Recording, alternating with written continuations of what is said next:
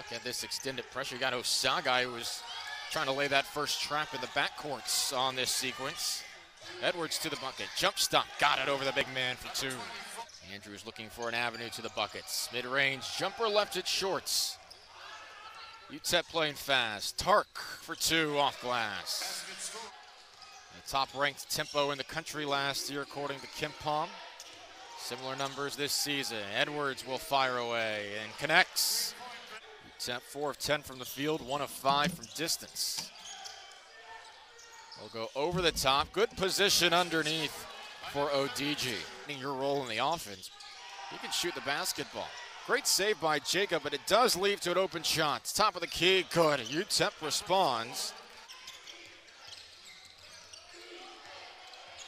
Stroud navigating his way to the rim. There's a foul and one.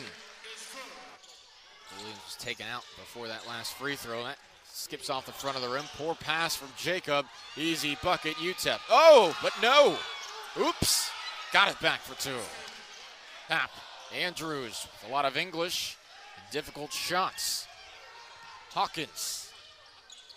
That's two for UTEP. There's Stroud. It's his second foul. And negates two points for the Miners. There's another drive by Andrews. Does not find its way to the buckets. Boom.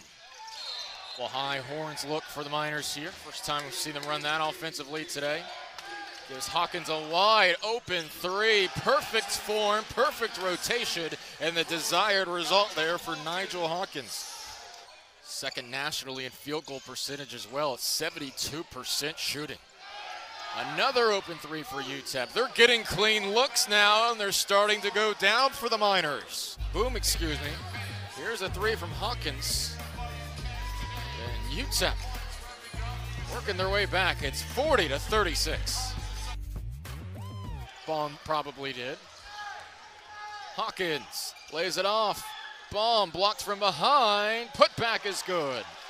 USA slate is underway for FIU and UTEP. This has turned into a good one here. Elbow jumper good from Vila. Outs. It's a one on two.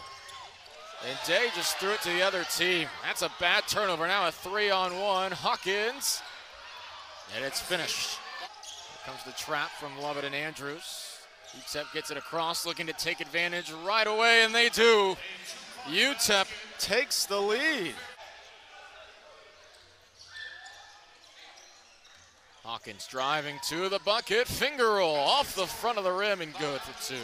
May have forced that one. Not a lot Osaghae could do there, even with his height and athleticism. Three-pointer is good. UTEP back in front. Daryl Edwards. This year averaging nine points per game.